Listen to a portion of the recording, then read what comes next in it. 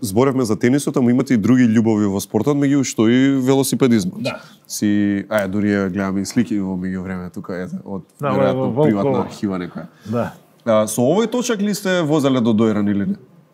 Не, еден друг, кој имам и тој, син ми го вози, а имам Добро. еден што ми е во Охрид, тој е карбон, тој е целиот карбон, е само билјучката му е. Тој е многу лесен. Така.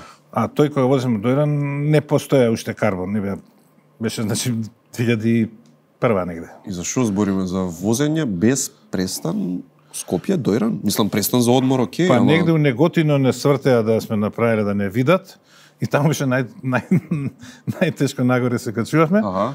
А, дуваше ветер во грб и јас се чудам, цело време покажува 32, викам, види која водиш група, има врска тоа група која се вози, Тогаш- по автопат, меѓутоа ветер дувал и неколку струмичани рекоа, не бе, не, ќе се врнеме, вика, с велосипедите. Како бе ќе се врнете? Ниеден не стигна, пошто почна да ги дува. Пошо Иако обратно контра. да. Така да, Добра, Иначе сум возел километри е вкупно тоа? По околу 160, 155. Тоа во, 160, во светот на велосипедизмов, не знам сега, некаков си полу проф... аматерски велосипедизм, Не, рекреативен. тоа се- Аматери, имаше бивши А добро, ова е сигурно многу. Ова јас Полиција вие не сте водеше. втор што што чув.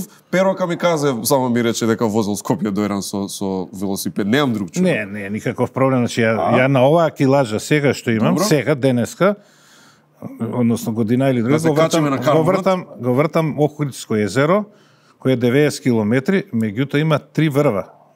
Кол- кои треба качиш. Овде нема врвови. Значи многу позезнато И е не, Охридско да па се тука е негде, во- 7 сата, едното и другото. Најтешко ми било кога возиме од Гостивар на Растоварија до Охрид. Гостивар Охрид. Да, и се качиш на стража, е надоле се. Да, да, да. И еден другар ми вика, ќе те пречекам у Метропол, имаше некои семинари, вика, имам соба за тебе, дојди така, само земи четка за заби, да преспиеш. Не мора да се враќаш со автобусија. И јас застанем таму кај што е четкар од кафаната во Охрид, сум стигнал, 15 кебабчиња, две-три пива, Аха. не можам да стигнам до Метропол. Толку.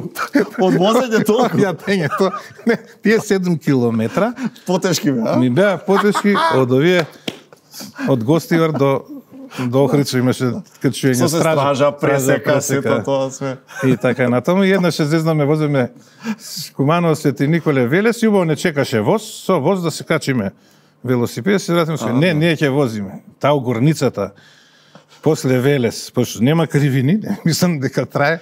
Убиство. Да, убиство сад време само вака, како да стоиш доктор, место. на таков момент што си мислиш? Што Онака мислиш, како, како, како да останеш... Па тоа е борба сам со себе, као оние што да речеме ве гледате по мене, има некој постат, некој одат планинарење на минус 20 Сака до да сад. кажете Ова разни предизвици. Да, ова е еден вид на тоа, борба со самиот Борба со себе, себе, и да. така натаму.